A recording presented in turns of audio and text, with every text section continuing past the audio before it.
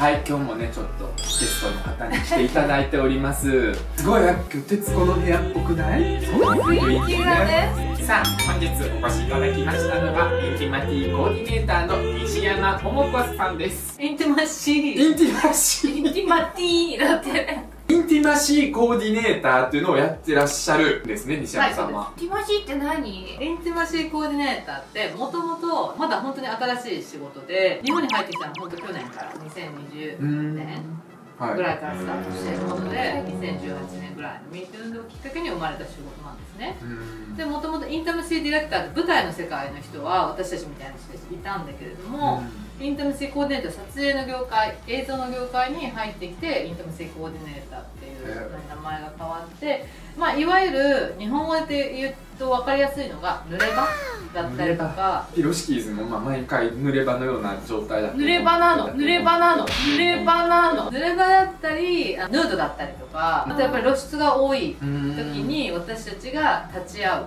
ていうのが基本的にシーンってこと。だからこれはやりすぎやからこの演出は良くないみたいなとか言うと。そう思われがちなので、うん。結構敬遠されがちなんですけど実は全然違くてうん。もともと例えば台本とかに「誰々キスをする」とかうん「誰々ここで抱きしめる」とかって本当に一文であるじゃないですか、うん。それを私たちが監督に「えこの時のキスってどういうイメージですか?」みたいな舌を入れますか？舌入れませんか？抱きしめた時って彼女は何を着てるんですか？それ裸ですか？服着てますか？みたいな書かれてないことをまず監督から聞いてそれをもとに監督がやりたいことを俳優さんたちに事前に伝えて監督はこういうことやりたいって言ってるけどどうですか？みたいな。映画の撮影とかでキスハグを抱きしめるそんなアバウトなもんなんですか台本っていうのが？結構私も最初びっくりしたんですけども海外の台本と日本の台本の書き方違うと思うんだけどやっぱ日本は結構ここで2人愛を深めるみたいな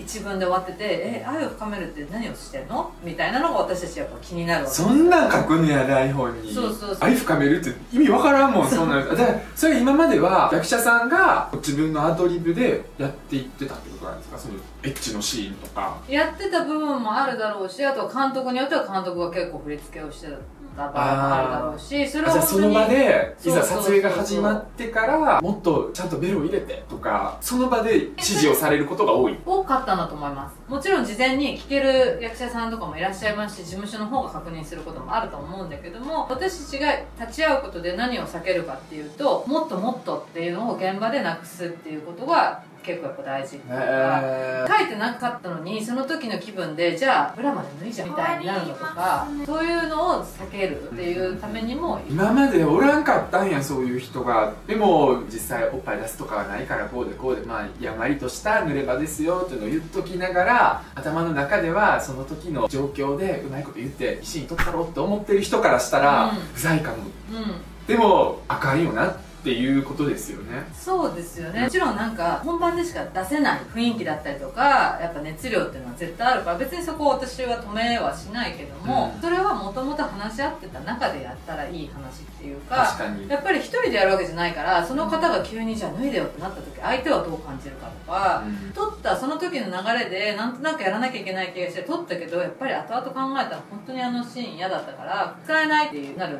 のも結局撮ったけどそれ使えなかったら意味ないじゃないですか。思い出したもうあったのよそれ、うん、何があったんですか？いやなんかでもらえるかもっていうのがあってあでもネットフリックスだしいいなと思ってうんなんかテンション上がってたんですけどそのシーンがあのおっぱい出さなければならない。みたいなでもちょっとだけ出るシーンだからそのちょっとだけのためにおっぱい出すのどうなんやろ？ってずっと悩んで悩んだ結果やめたんですよね。もう何ヶ月か経ってもう作品が出るってなった時に見たらおっぱい出してなかったんですよ女優さんが。でももうイラッとしちゃって。出させるじゃなくて逆に出さへんのかいっていうね。そのチョイスってすごく大事でキャスティングの段階でやっぱり自分が何をやるかって分かってない状態でキャスティングされちゃってうん。で実際聞いてみてえ私そんなのやりたくなかったみたいなのも絶対あるから今出たいから何でもやりますって言ってる人たちも例えば1年後2年後10年後それやったことを後悔しないかっていうところは私は必ず聞いて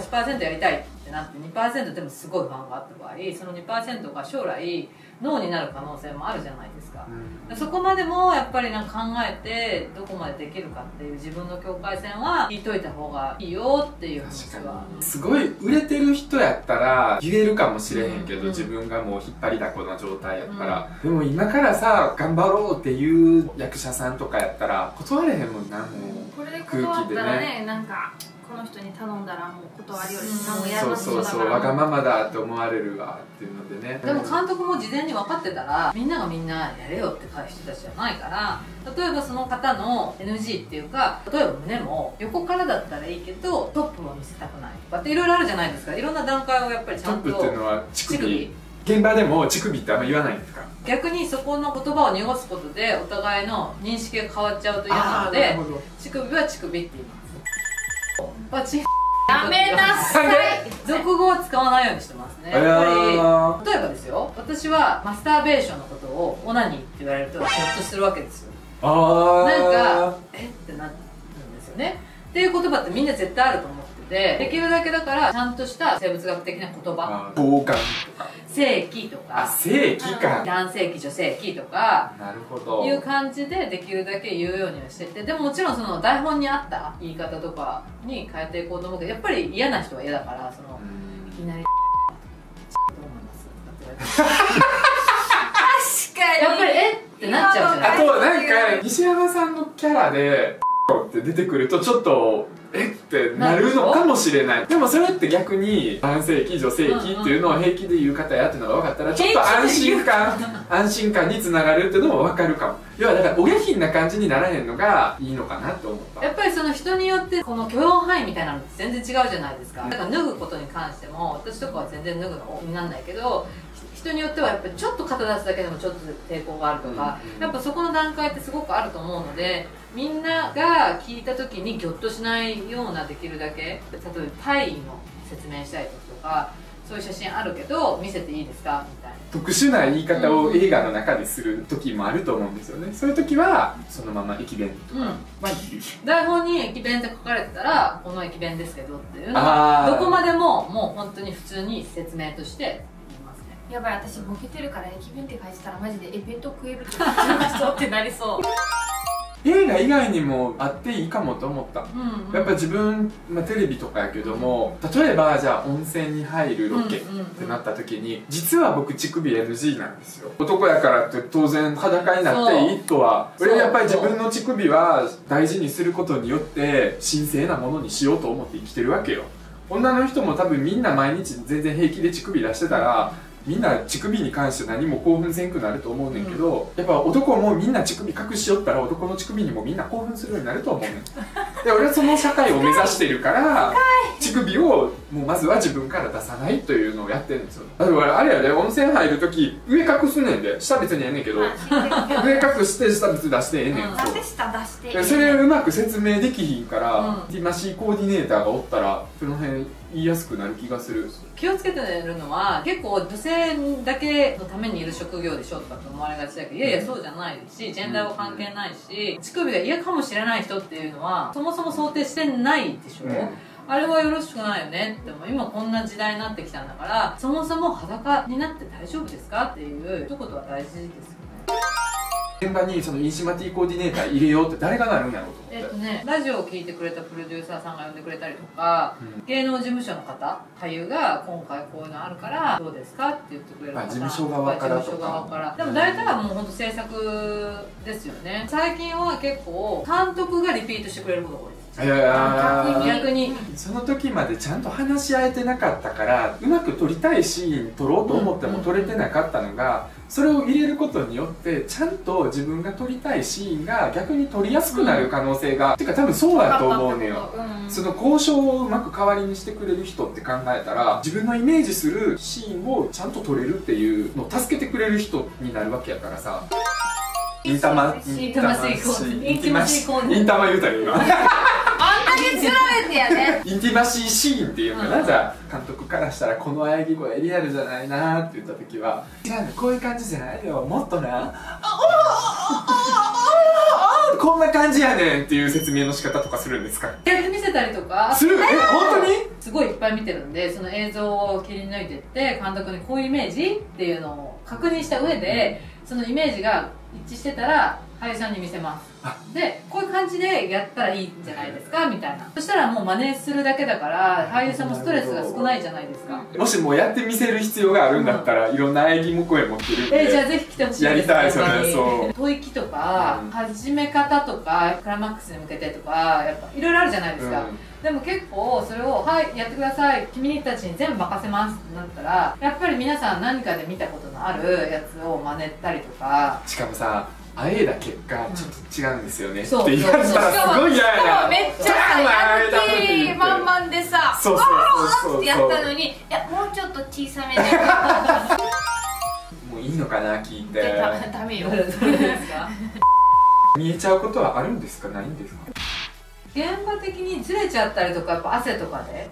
っていうのはあるけどでもそれが見えていいものではないしその時出ちゃったらちょっとストップストップして言ってはいどこの人が勃起してたら前張りとかできんのとか思うし。精神と体の反応って違うから、濡れて勃起しているからとって興奮したよねってことではないわけですよ。やっぱりそれは摩擦によって起こることだったりとかするから。確かに確かに。そうだからそれは全然あり得ることだと思うんです、うん。日本の現場ってこういうの使ってたんですよ。えー、初めて見た。痛そう。こうやって貼貼るだから本当に隠すだけ。なるほど。男性女性関係なくこれだと集中できないじゃないですか、うん。こうファッとつけるものでこうやってねどっちもいいんですけどこれつけて。ナプキンみたいですそうそうそう。でこれつけてこうやってやることで相手が触っても感じない。ちょっと感じにくい。なるほどなるほど。これ落とされたらこちらでお願いします。って言われたらマジでびっくりしたどうしようってなる。